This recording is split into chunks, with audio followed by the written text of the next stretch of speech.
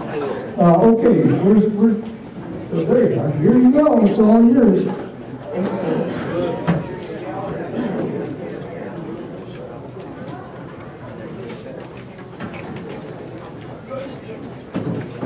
Good morning and welcome. It's really nice to see a nice turnout here today to honor these veterans. We are members of the Material Girls Quilting Club of Wisconsin Rapids. We are a group of over 100 members that meet once a month. Along with the Quilts of Valor project, we also make quilts for the palliative care unit at um, uh, Riverview Hospital and Christmas stockings for nursing homes and other charities. Simply put, Quilt of Valor's mission is to cover service members and veterans touched by war with comforting and healing quilts of valor. In 2003, Catherine Roberts, a Blue Star mom, had a dream. Literally, when her eldest son was deployed to Iraq. Her dream was as vivid as real life. She saw a young man sitting on the side of the bed hunched over. It was the middle of the night. The permeating feeling was one of utter despair. It was as if Catherine could see his war demons clustered around him, dragging him down into an emotional gutter. Then, as if viewing a movie, the next scene was totally transformational for her. And he was wrapped in a quilt. His whole demeanor changed from one of despair to one of hope and well-being. The Quilts of Valor Foundation began in 2003 and is located in every state of the Union, Canada, the United Kingdom, and Australia. It took three years for them to award the first 100 quilts. On their 10-year anniversary, 86,812 quilts have been awarded by the foundation. To date, there have been more than 226,142 quilts awarded. Multiply that out by an average value of $250 per quilt, this amounts to over $56 million. Group um, here in Wisconsin Rapids started making quilts of valor in 2016. Not counting today's quilts, we have awarded 137 quilts. A quilt of valor is not a charity quilt or a blanket. It is a quilt consisting of three layers. The top of the quilt, with its many colors, shapes, and fabrics, represents the love and gratitude from the communities and the many individuals that we are. The batting is the center of the quilt. It's warm. It represents the hope that this quilt will bring warmth, comfort, peace, and healing to the individual who receives it. The back is the strength. It holds the many pieces of the quilt together. It represents the strength of the recipient, their family, our communities, and our nation. A quilt of valor is priceless. It can never be bought, it can never be sold or wrapped. It is not a birthday or Christmas gift. It is given freely from the hands and hearts of the makers and their community. A quilt of valor is a thank you from all of us for your sacrifice and service. We would like to thank the Cotton Thimble for financial support and giving us a place to gather and work on these quilts. Special thanks also to Heroes Cafe and the UPS store for their donations and continued support. We're humbled to stand before you. You have served our country, performed your duties, and fought for the freedoms we all appreciate today. We are eternally grateful to each of you and thank you for your service. Today is our honor to award the following individuals with their personal quilt of valor. Let's start by reading the certificate that will be provided. On behalf of the of Valor Foundation, in recognition of your service and sacrifice for this nation, it is a privilege to honor and comfort you through the award of this quilt of valor. Though we may never know the depth of your sacrifice to protect and defend the United States of America, as a gesture of gratitude from a grateful nation, we award you this quilt of valor. As I read your name, please go to the X on the um, center of the stage so that you may be wrapped in your own quilt of valor. Paul Bedford.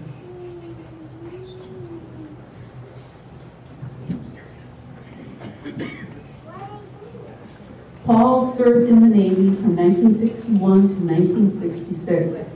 He served on board the USS Midway for active duty and also served in the active reserve from 74 to 1980.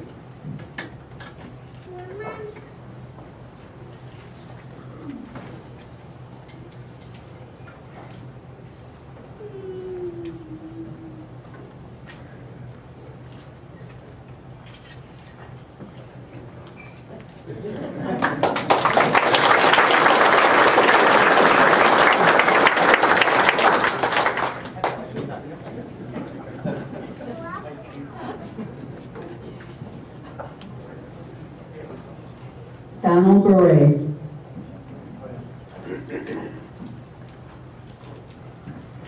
And stand on the X there.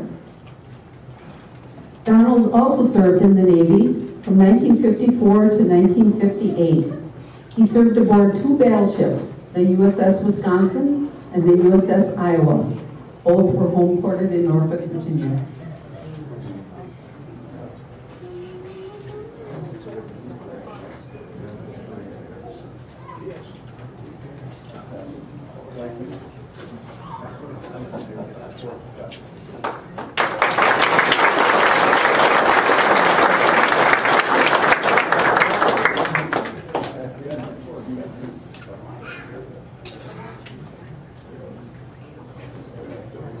Ronald Bure. Ronald also served in the Navy from 54 to 58 on board the USS Wisconsin and the USS Columbus. He um, analyzed Russian radar off the coast of Korea.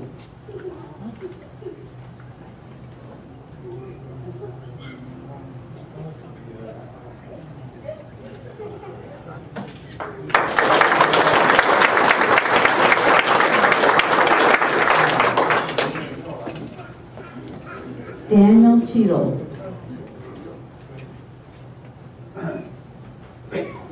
Daniel served in the Army from 1964 to 1966 on active duty with the 10th Field Artillery.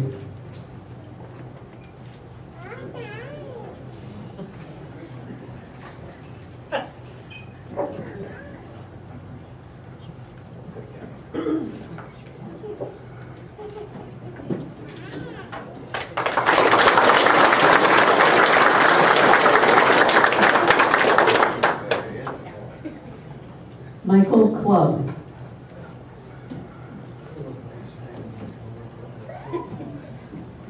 Michael served in the Navy from July of 1999 until July of 2007.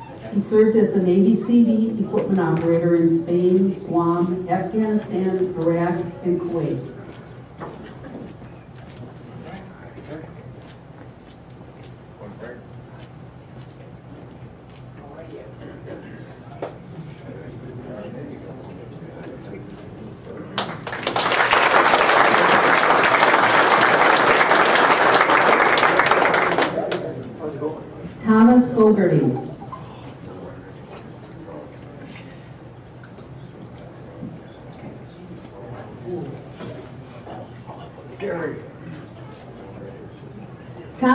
Served in the Army and National Guard from um, May of 1955 until August of 64.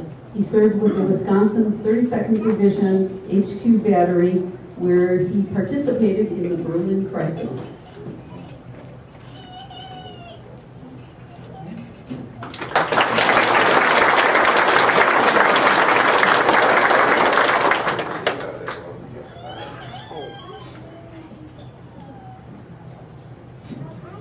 Ron Verveen. Ron served in the Air Force from 1955 to 1979. He served with the 310 ARS, 905 905 AREFS, 920 AREFS in England, Spain, Thailand, Guam, and Okinawa. He was an Air Force advisor of the 128th Air Refueling Wing at Mitchell Field in Milwaukee.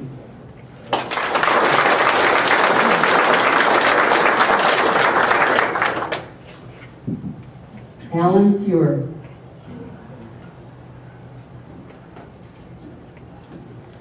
Allen served in the Army from 1964 to 1970. He served with the 32nd Infantry Division Marshfield Unit. Basic training was at Fort Leonard Wood, Missouri, and infantry school was at Fort Sill, Oklahoma. He was activated for 1967 um, riots in Milwaukee.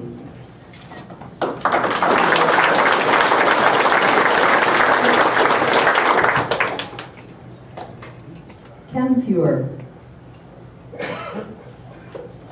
Ken served in the Army from October 1972 until October 75. He served in Korea from August of 74 until October of 75 with the 2nd Infantry Division, Battery A of the 115 Field Artillery. He helped set up artillery at the DMZ.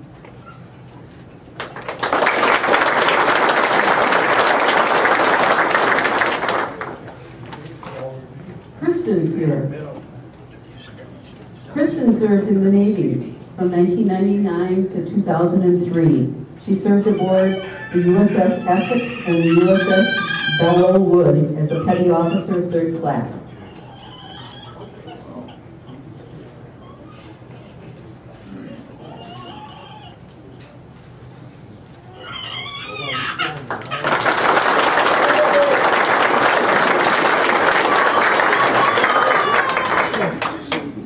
Gary Kruger. Gary served in the Army from 1958 to 61. He served as a mechanic and drove a tank retriever in the 3rd Armor, 50th Infantry, served in Germany from 58 to 60.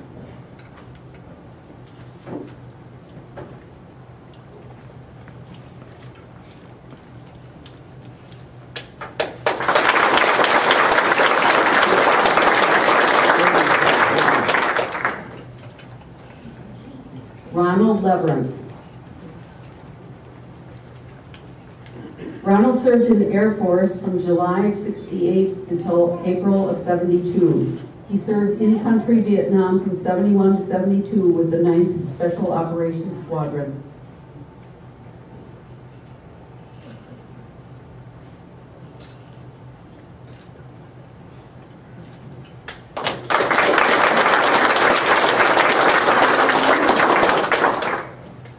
Michael Labner. Michael was a Marine from September 6th of 66 until September 7th of 68. He served in Vietnam from February of 67 until March of 68 with the 3rd Battalion, 1st Marines, 1st Marine Division.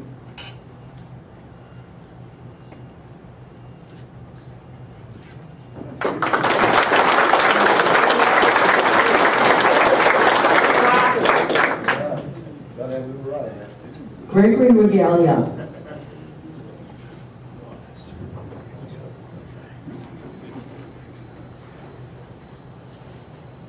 Gregory served with the Army from 1971 to 74. He served active, active duty with HHD, 5th Artillery Group, SASCOM, the Special Ammunition Support Command in Germany. He received a SASCOM Letter of Achievement Award.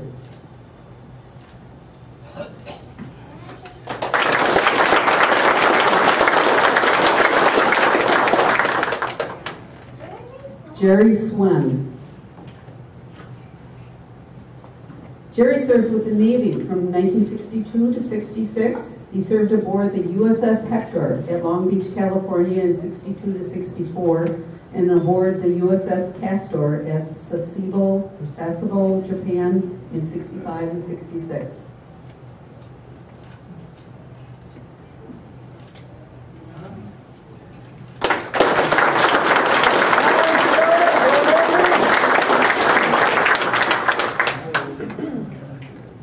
Robert Feeble.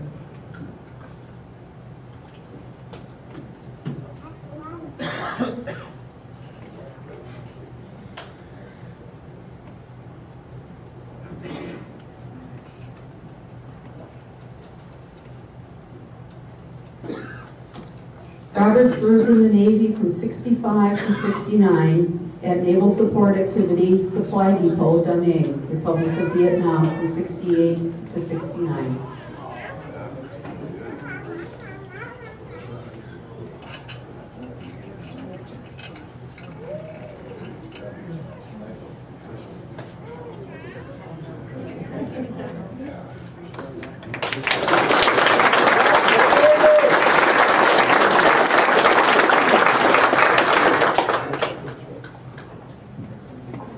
Mitchell Wade. Army and Marines from 75 to 2017.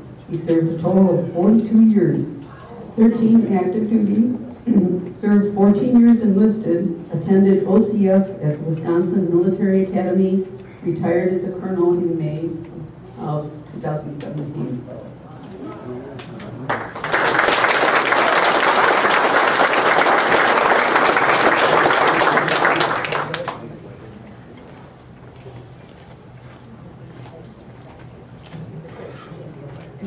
Okay, so uh, each one of the recipients then, if- well, let's have one final um, uh, round of applause for everybody.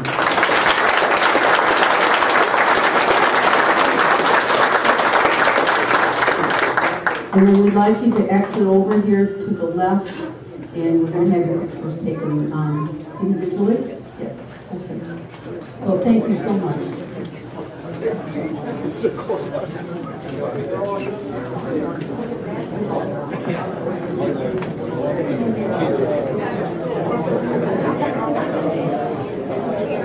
Listen, I, uh, I ordered 34, 24 dozen donuts for today. So I expect everybody to have two or three donuts, please. We got a whole bunch of donuts left. We got lots of coffee left. Just because this is over doesn't mean you have to leave. So we're open here till 10 o'clock. You can sit around. I see a bunch of firemen here, that's good. I, I got donuts, I got coffee, so help yourself, please, stick around. Go get your pictures taken, shoot the breeze, and uh, have a good time.